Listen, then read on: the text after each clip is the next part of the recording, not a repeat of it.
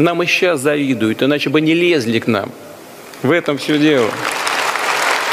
Но пусть потренируются, а мы будем только укреплять себя изнутри и вовне. Российская валюта продолжает свое падение. Внебиржевой курс доллара превысил психологическую отметку в 100 рублей. Эксперты не прогнозируют позитивных исходов и ожидают дальнейшего падения российской нацвалюты. Что же произошло? Что случилось? Почему все это происходит? Ответ очевиден. Спустя 13 месяцев внебиржевой курс доллара обновил максимум с октября 2023 года. Он достиг отметки в 100,7 рубля. Волна отказа целого ряда стран от доллара постепенно захватывает мир. Причина в излишнем желании США управлять миром за счет экономических рычагов. Мир без американской валюты – миф или реальность? Однозначного ответа пока нет, но очевидно одно – отказ от доллара уже начался. Уж больно часто из Вашингтона дергают за ниточку под названием названием доллар. Этим и объясняется желание многих ее перерезать. И что? Ну, это позор. Санкции, ограничения, невозможность расчета в долларах, отключение от SWIFT, э, значит, э, э, санкции в отношении наших кораблей, перевозящих нефть, санкции в отношении самолетов, санкции во всем, везде самое большое количество санкций в мире, которые применяются, это применяется против России. Мы, в общем-то, никогда не задумывались о, э, о такой теме до тех пор, пока Соединенные Штаты не начали использовать доллар в политических целях. План у правительства такой есть, и среди мер, э, в общем-то, преференции и послабления для компаний, пришедших в рублевую зону. Дело не только в нас, поверьте. Мы же видим, что в мире происходит. Вы посмотрите, как сокращаются э, золотовалютные резервы стран, в том числе и ближайших союзников Соединенных Штатов долларовые активы сокращаются. Чего бы ни происходило, доллар, как священная корова, ее нельзя было трогать. Нет, взяли своими руками, и там, рога подшибали, там, вымя не моют, а наоборот эксплуатируют почем зря. Ну, что это такое? Ну, сами виноваты. А расчеты в долларах сокращаются. Здесь важен вопрос, как Центробанк будет пытаться вот эту ситуацию нарисовать так, чтобы она была там более-менее правдоподобной и не шокировала россиян. Но все это скажется. Когда вы приходите в магазин и покупаете импортный товар, все это рушится сразу. Все эти сказки про инфляцию 8%, про доллар по 99%, потому что вы покупаете тот же самый импортный товар, но видите, что он стал дороже на 20%, отмечает экономист. По его предположению, к концу года доллар будет стоить больше 100 рублей. Потенциал падения до 120 есть. Центральный банк будет оборонять несколько недель отметку в 100, но к концу года будет выше и закрепится. В следующем году это будет привычная цифра. Доллар по 100 будет восприниматься примерно как сейчас доллар по 90. А, Путин сказал о дедоларизации. Это неизбежный процесс. Слава богу, наконец-то, вот сколько лет об этом говорили, что этот процесс должен стать неизбежным. Наконец-то президент это подтверждает в ответах на, на, на вопросы иностранцев. Дедоларизация является одним из главных и основных условий сохранения суверенитета нашей экономики. Не только я, но очень многие люди поднимали тему долларизации, но вдруг какой-то тумблер переходит в состояние в вкл, да, и все вдруг начинают говорить о дедоларизации. При этом я в данном случае придерживаюсь крайне умеренных позиции относительно дедоларизации. В этой, в этой связи я всегда задаю три вопроса. Первый, а дедоларизируем мы что? Мы додоларизируем российскую экономику, но она в значительной мере уже додоларизирована. И действительно, если вот все время говорить о додоларизации российской экономики, то у нормального, даже ну, более-менее подготовленного человека возникнет вопрос действительно о запрете доллара. Потому что ну куда дальше-то? Мы когда вчера обсуждали сегодняшнее мероприятие, сегодняшнюю пресс-конференцию, мне Дмитрий Сергеевич сказал, что убирают, э, убирают там рекламы, э, рекламы обменных курсов в некоторых городах, в том числе Москве, Москве, и у граждан вызывает вопрос, с чем это связано. Не связано это какими-то запретами хождения долларов. Ничего подобного нет и не будет. Хочу всех успокоить. Центральный банк в очередной раз повысил ключевую ставку. Теперь этот показатель достигает 21%. При этом не исключено, что его увеличат еще раз в конце декабря. Кстати, недавно в России снова заговорили о возможной заморозке вкладов граждан. Вы знаете, если со специалистом сейчас вы поговорите, не с такими, как я, с настоящими. Министерство экономического развития, Министерство финансов. У нас есть такие, Центральный банк. Они вам что скажут? Мы бюджет рассчитываем не в долларах, а в рублях. Упала стоимость рубля, он немножко обесценился. Ну, на мы, треть. На треть, на 30 процентов. Вот смотрите, мы а, раньше продавали товар, который стоил 1 доллар, а получали за него а, 32 рубля. Мы продали товар, ну, да. деньги приходят в рублях. 32 рубля получили. А теперь товар продали на рубль, а получили 45. А теперь товар продали на рубль, а получили 45. Доходы бюджета увеличились, а не уменьшились.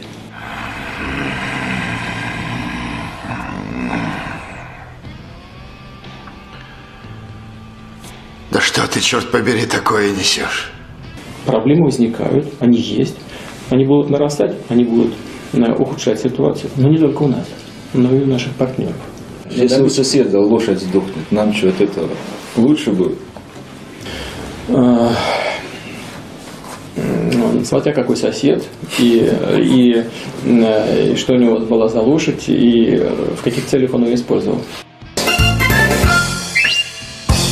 Долларовая система полностью себя дискредитировала, и доверие к доллару падает очень резко.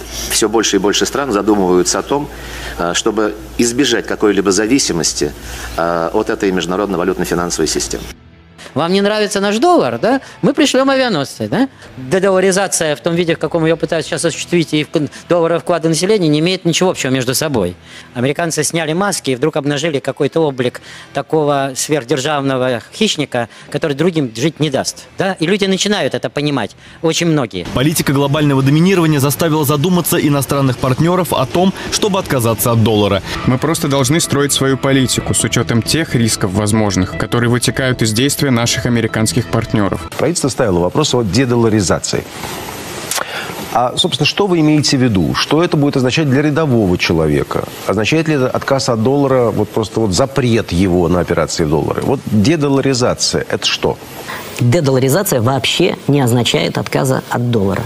Доллар, безусловно, является важнейшей мировой валютой, важнейшей резервной валютой, и никакого запрета на хождение доллара в установленных, конечно, законом рамках в нашей стране не будет. Ой, снижение цен. Короче, во все виноваты пиндус.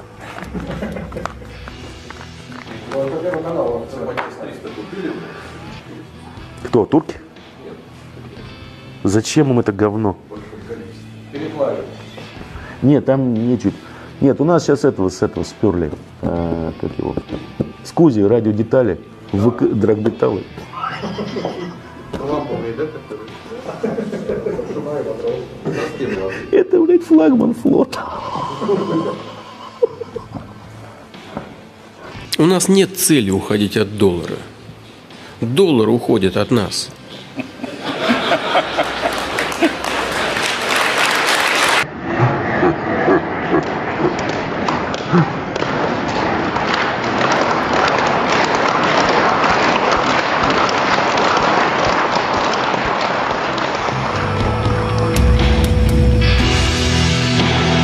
Льготную ипотеку отменили, а вот э, на оккупированных территориях, пожалуйста, э, забирай. И это довольно популярно. Люди покупают, люди инвестируют или сами переезжают жить. Я уж молчу про Крым, который за эти годы, население которого существенно обновилось. Это правда. Я думаю, что те люди, которые сейчас покупают на оккупированных территориях квартиру, э, в общем, должны понимать те риски, которые они на себя берут. Понятно, что это выглядит экономически привлекательно, понятно, что льготная ипотека нравится, нравится людям, и понятно, что хочется вкладывать в это деньги, потому что это выгодно, но важно понимать, что вы покупаете э, жилье на оккупированных территориях, и в перспективе это может иметь большие экономические риски. Значит, власть после смены Путина э, эти э, интересы их защищать не будет.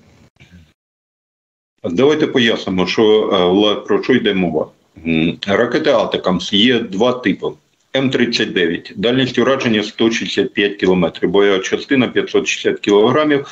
Але основне, на чому варто робити акцент, це те, що їх кількість на складах армії Сполучених Штатів це приблизно до тисячі одиниць. З 1996 року їх не виробляють. Е, ба більше того, варто говорити про те, що термін перегання ракет атакам це приблизно 10 років. Потім відбувається модернізація і відповідно, ну е, скажімо так, подальші їх можливості використання. Але основне, що ми маємо розуміти, це їх обмежена кількість. Е, аналізуючи ці два повідомлення, і російські, і відповідно Reuters, ми можемо робити один висновок для нанесення удару по одному військовому об'єкту потрібно мінімум 10 атакамсів. 10. Тобто можемо говорити про те, що навіть при успішному характері е, військово-технічної співпраці зі Сполученими Штатами, якщо ми припустимо, що США передали нам всі тисячі ракет Атакамс М39, е, буде уражено на відстані 165 кілометрів, зауважте, не 320, приблизно до 100 військових об'єктів. Чи вирішує це координальна ситуація? Напевно, ні. По-перше, виходячи з того, що передадуть не всі тисячу атакамсів, а максимум до 200, це в кращому випадку. Ну і по-друге, це те, що М39, ще раз підкреслюю, це дальність ураження 165 кілометрів. Є другий тип атакамсів М39А1. Дальність ураження 320 кілометрів. Він найбільш цікавить. Е, бойова частина це касетна, але їх кількість на складах армії Сполучених Штатів 488 одиниць. Виробництво їх припинено в 2003 році, тобто знов таки обмежена кількість. Тому можемо говорити з вами про те, що, на жаль, риторика української влади з приводу того, що ракети Атакамс є е, черговим вундервафе, яке не може кардинально змінити хід бойових дій, е, виявилося помилковою. По-перше, це не вирішує питання відповідно самого характеру бойових дій, бо, на жаль, ще раз підкреслюю, а обмежена кількість атакамсів і обмежені тактико-технічні характеристики ставлять під сумнів е, сам характер подальших е, дій е, в моменті е, координальної зміни на полі бою. Власне, про це і заявив Саліван. Е, вже після надання дозволу е, бити по території е, Російської Федерації. Саліван зазначив, що Сполучені Штати надали Україні танки, схвалили передачу винищувачів F-16 систем Хаймерс та Петріот. Попри це, за його словами, Україна опинилася в більш складному становищі на полі бою, що свідчить про те, що немає прямої лінії між цими системами озброєннями і тим, як вона діє на полі бою. Тобто мовиться про те, що Фактично, Сполучені Штати заявляють про те, що передача атакамсів фактично не вплине на характер бойових дій безпосередньо на полі бою. Себто можемо говорити про те, що риторика української сторони була як мінімум помилковою, ба більше того може бути використана проти самої України. Тобто, про що йде мова? Коли виходили і звинувачували країни Заходу в моменті ненадання тих чи інших видів озброєнь, залишали поле для дипломатичного маневру хоча б в моменті пояснення українському суспільству. Дивіться, перемогти не можемо, тому що не надають нам F-16 чи Атакамси. F-16 передали. Тепер передали Атакамс. Які подальші дії української влади? Чим артикулювати до українського суспільства? Мало. Мало. І тут Сполучені Штати відповідають на це питання характер військово-технічної макроекономічної допомоги на суму 180 мільярдів доларів. Мало? Достатньо. F-16 передали в обмеженої кількості, тому що українська сторона не підготувала достатньої кількості пілотів для опанування відповідно цими літаками. На жаль, складається ситуація, коли українські літуни прибувають в Сполучені Штати чи Великобританію і півроку займаються вивченням базової англійської замість того, щоб опановувати цю техніку. Це питання Сполучених Штатів чи Великобританії? Напевно, ні. І відповідно Сполучені Штати використовують наразі ситуацію, коли змінюють риторику на свою користь. Зауважте, пане Олександре, шановна поглядацька аудиторія, коли надається дозвіл за два місяці до закінчення каденції е, нинішнього президента Сполучених Штатів. Так, оце І відповідно вступу інаугурації Трампа. Чому ці два місяці? Цей термін не випадково. Зауважте, дозвіл на е, використання атакамсів надається після зустрічі обох президентів діючого Байдена і відповідно новообраного Трампа. Ми можемо з вами припускати, що це е, колегіальне рішення. Теоретично так. Так, незважаючи на заяви е, представників команди Трампа з приводу того, що палії війни підвищують ставки, правильно? Я пояснюю, чому це рішення задовільняє обидві сторони. Байден знімає з себе персональну і відповідно колективну відповідальність своєї команди на, за ненадання тих чи інших видів озброєння. Правильно? Я вже процитував вам Салівана. Він говорить про те, що ми все вам передали. Тепер питання за українською стороною. І залишає два місяці. Тобто жодних претензій до адміністрації Байдена вже немає. Правильно? Так. Тепер дивіться, чому це влаштовує Трамп. Два місяці.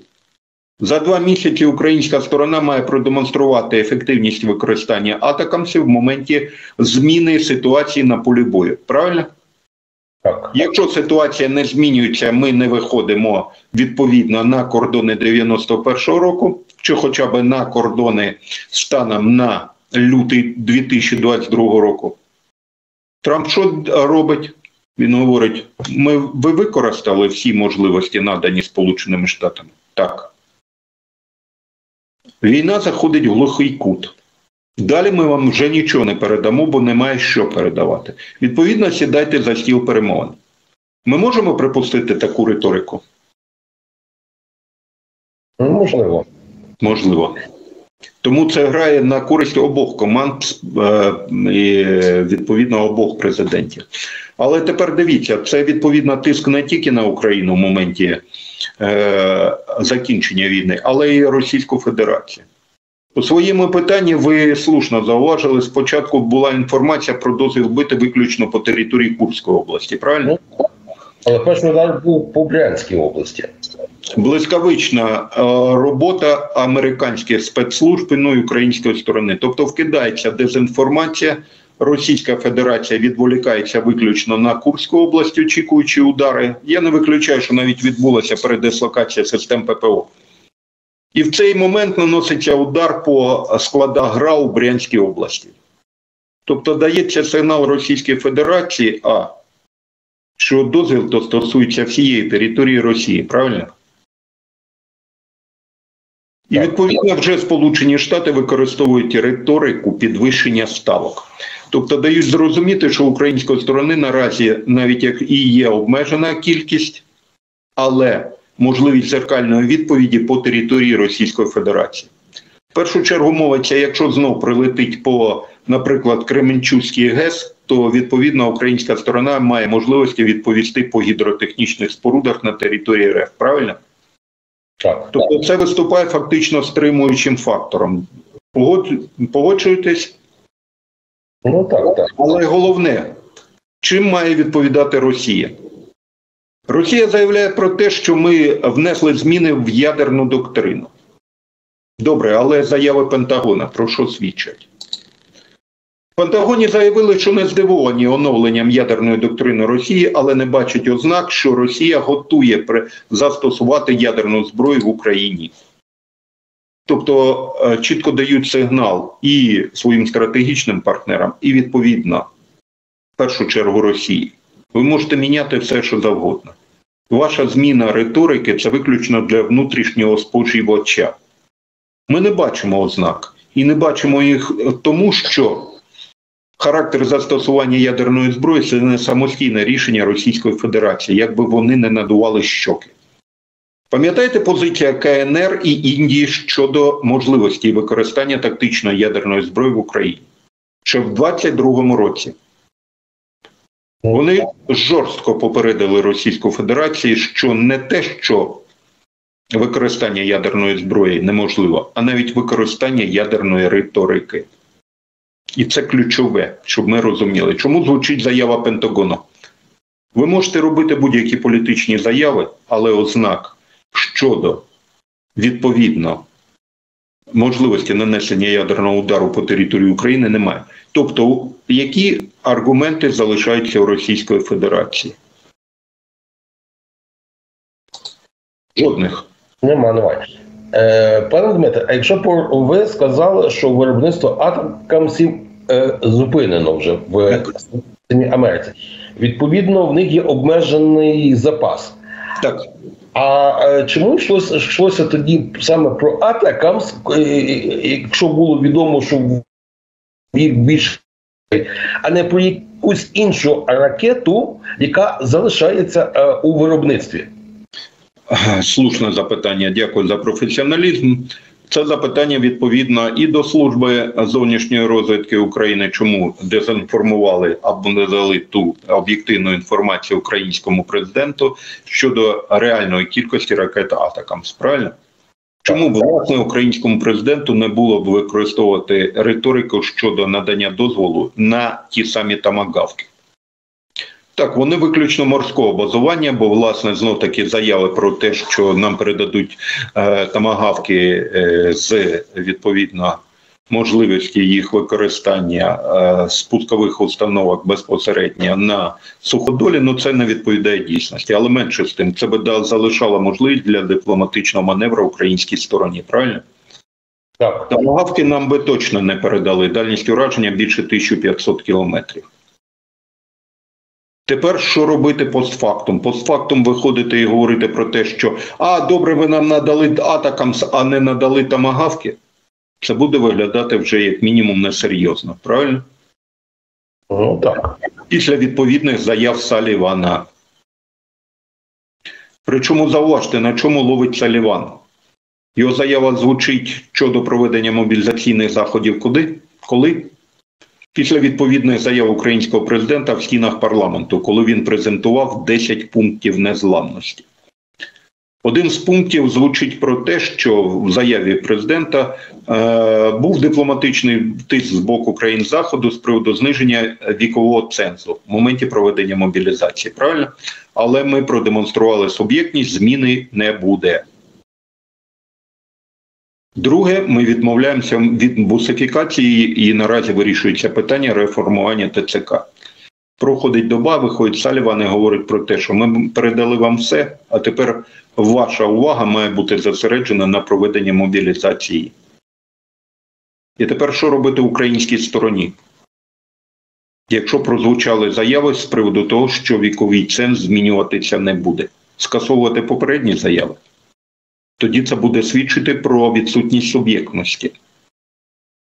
Посилювати мобілізаційні заходи, але ми заявили про те, що ми відмовляємося від бусифікації. Розумієте, на чому вони грають? Вони створюють фактично дипломатичні пастки. Давайте називати речі своїми іменами. На жаль, аналітичного супровіду в роботі, власне, е- Е, подібного характеру заяв, ну я, я так е, дивлюся, немає. На жаль, варто констатувати. Тому те, що буде відбуватися в подальшому, пане Олександр, два місяці Росії фактично дали зрозуміти, ми пішли е, аналогічно вашим шляхом, підвищуємо ставки. Сьогоднішня заява посольств Сполучених Штатів і низки провідних країн про можливість е, відповідно закриття посольств у зв'язку з е, і далі по Україні фактично провокують Російську Федерацію. Правильно? Так. Це, як кажуть, останній козир чи довід, ну, останній е, такий е, аргумент е, Російської Федерації, правильно? Добре, ви нанесли удар знов. Це привело до зміни ситуації на лінії бойового зіткнення? Ні. Правильно? Відповідно, який вихід? Ви сідаєте за стіл перемовин.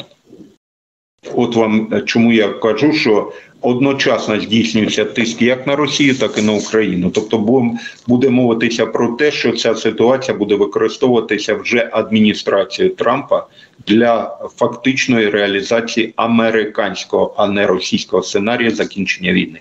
А тепер, щоб додати оптимізму українців, про що звучить американський план Трампа? Зверніть увагу, пане Олександре, і шановна поглядацька аудиторія. Заяви Трампа 1300 кілометрів демаркаційної лінії.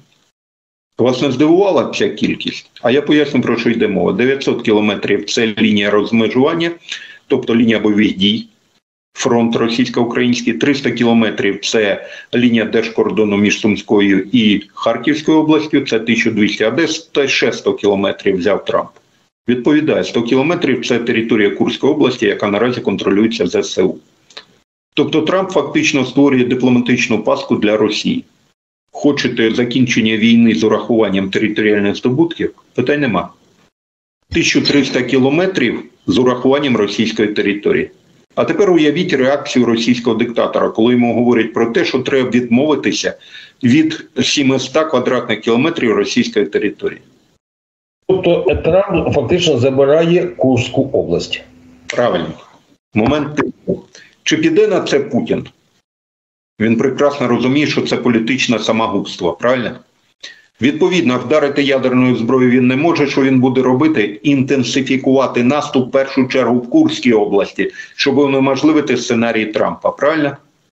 Так. Чому з'являється повідомлення, що е, удари виключно в Курській області? Росії дають зрозуміти, що Сполучені Штати розглядають саме свій сценарій закінчення війни з урахуванням території Російської Федерації. От вам і відповідь, чому нам дали дозвіл бити атакам саме. Елемент примусу Російської Федерації. Е, Ще одне дуже коротке питання на завершення не про атакам це вже, а про протипіхотні міни. Абсолютно.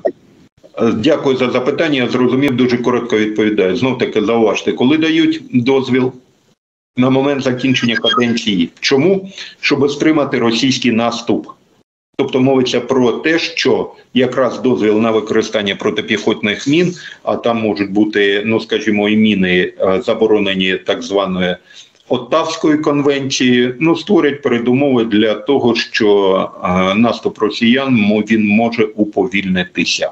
Тобто, Сполучені Штати нам створюють ці передумови для підвищення наших перемовних позицій. З одного боку надають атакам, з іншого боку, надають можливості стримати російський наступ.